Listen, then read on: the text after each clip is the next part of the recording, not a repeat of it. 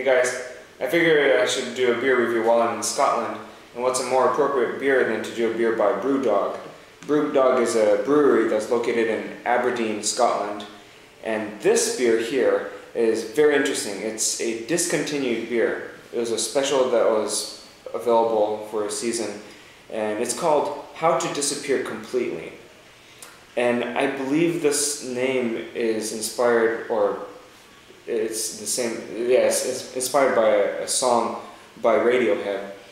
Now, this beer is very interesting because it says it's a fake fix double IPA.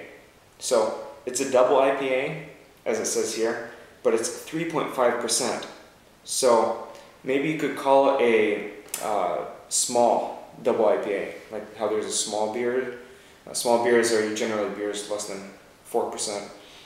But uh, on Beer Advocate, at least, it says it's a English dark mild ale.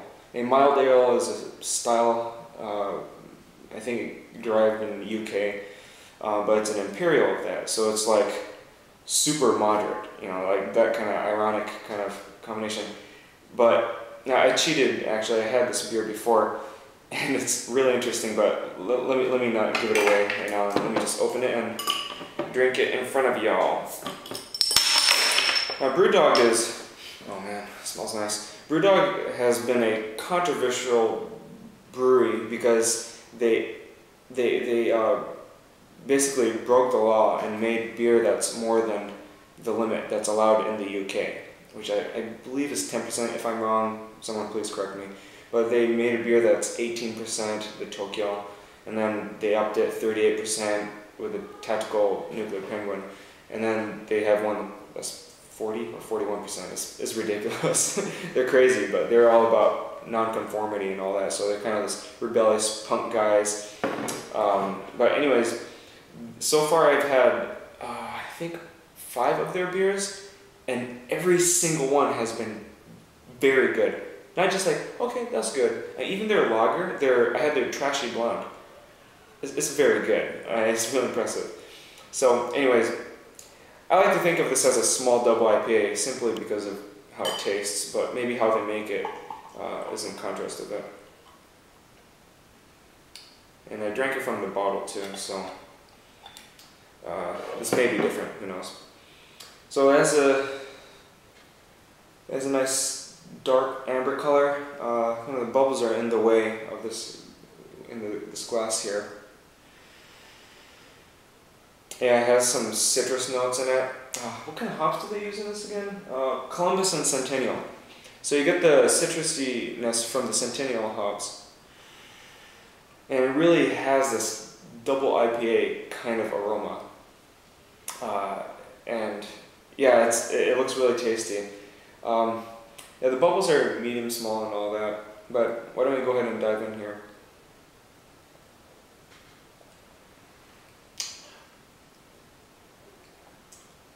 Yeah, interesting, interesting. I think the Centennial really gives it that all, all that hops that you get in a double IPA.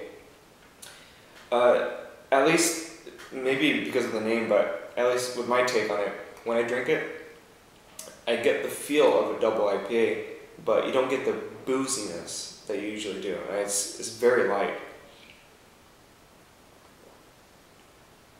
And it does have that that United Kingdom, British, Scottish ale kind of taste that you get in a, a typical bitter that you get uh, from, from, the, from this area. But it does have that citrusiness. Now, at least this is me, and I know some of you saw my lager reviews that that if I drink it from the bottle, I tend to taste more of this, blah blah blah. Uh, some of you don't believe in that. At least I, I, I, I could taste a difference, but it's, it's, it's not a big deal. I, it seems like I tasted more of the citrusiness from the bottle, but then again, it's the same beer, right?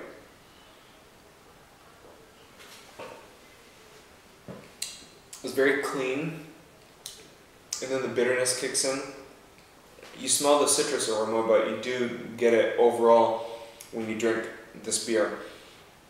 Um, this is very good. Sadly, though, this has been discontinued and you can't get anywhere. So I got three bottles from the store just because they found uh, I don't know, a whole box of it, and they thought they ran out of it.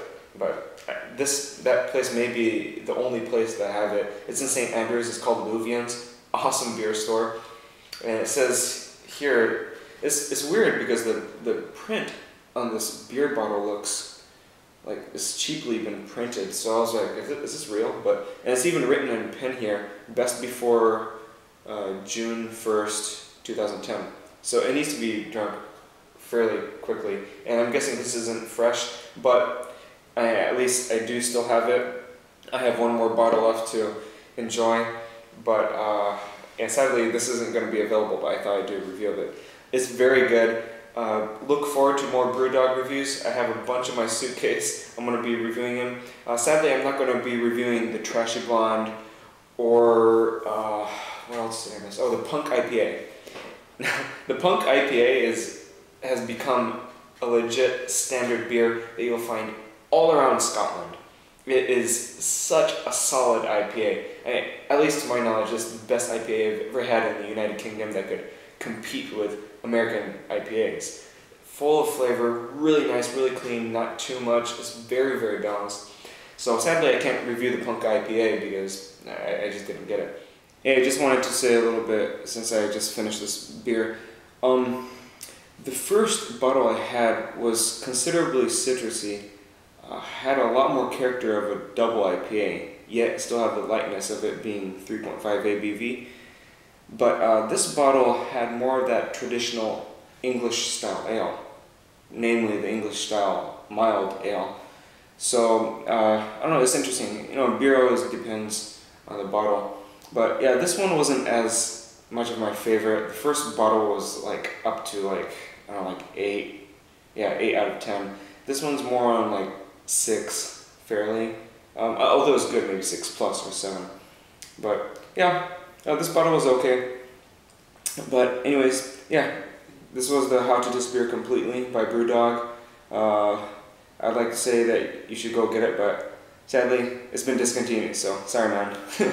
Alright, I'll see you in another Brewdog beer review. I have a few others to review, so look forward to that. See you guys, and kampai.